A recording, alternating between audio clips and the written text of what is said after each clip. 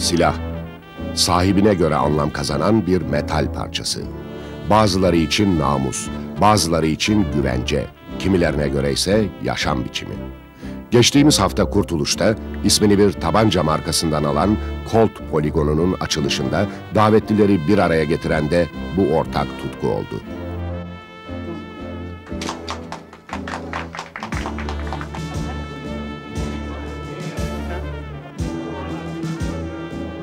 Silah bir güvence.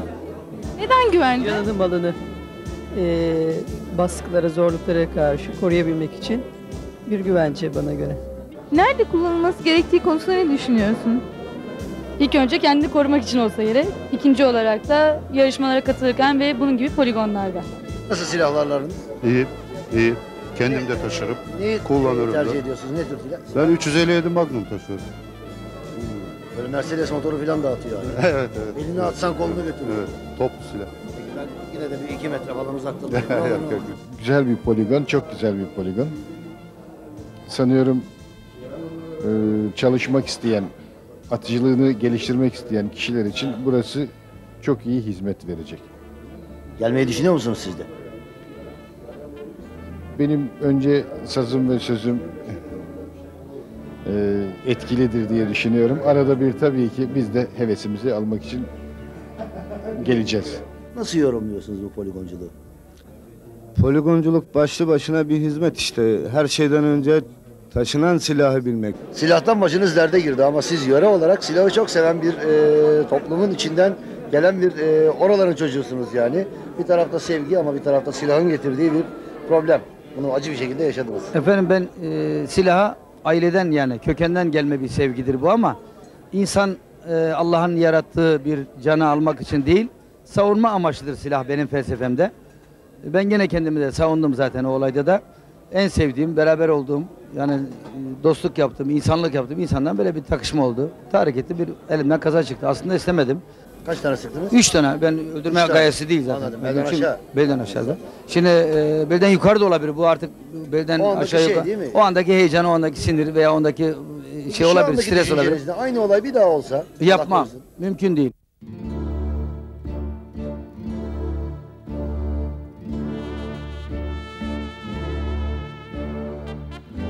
İnsanoğlunun yine kendisine karşı kullanmak üzere icat ettiği bu metal parçasına duyduğu tutku aslında bir paradoks.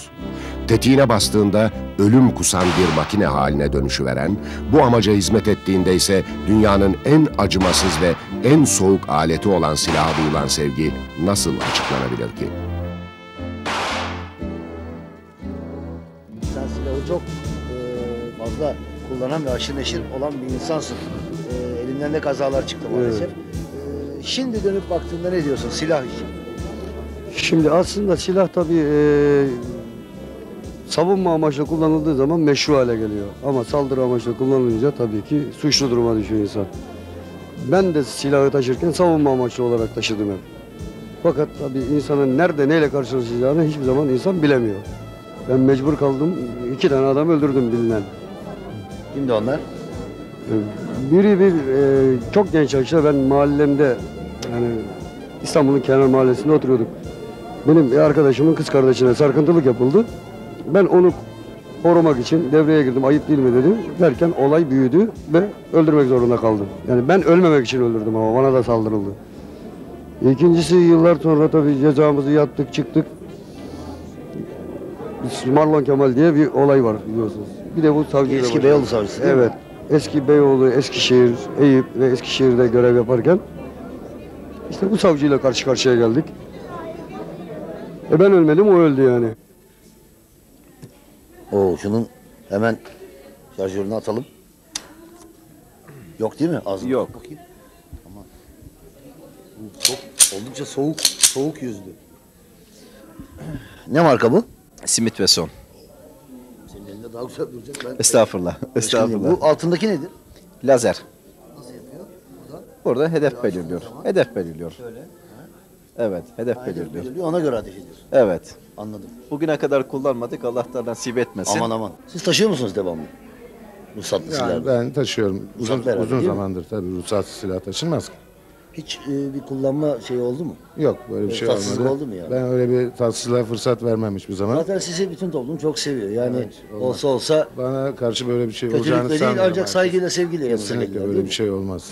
Tanrı korusun zaten. Bazı müşterileriniz gelip ya benim silahımı saklayacak gizli bir cep yap içeride kimse çakmasın zula yap filan diyor mu size? Evet diyor. Nasıl yapıyorsunuz onu?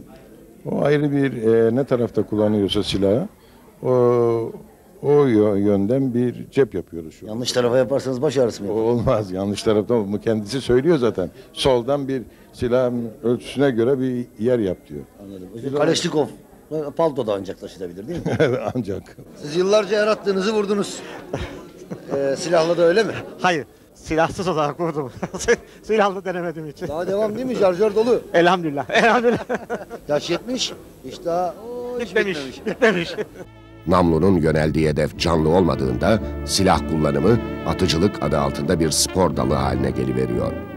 Ve o metal parçasının soğukluğu da bir nebze olsun kayboluyor. Keşke tüm silahlar bu amaca yönelik imal edilse.